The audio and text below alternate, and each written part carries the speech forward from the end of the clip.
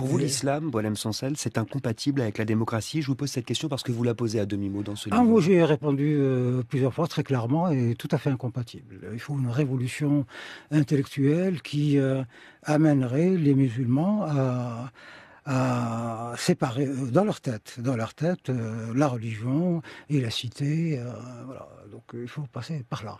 Et donc tant que l'islam reste le, ce qui configure l'identité musulmane, c'est tout à fait impossible. on ne peut pas fonctionner sous l'égide de deux lois contradictoires. La loi des hommes et la loi de Dieu, c'est pas possible. Elles seront en confrontation euh, de manière permanente. Que, ferait-il pour le statut de la femme? Que ferait-il pour l'héritage? Que ferait-il pour des, tas de, thèmes? Euh, C'est toujours l'islam qui l'emportera.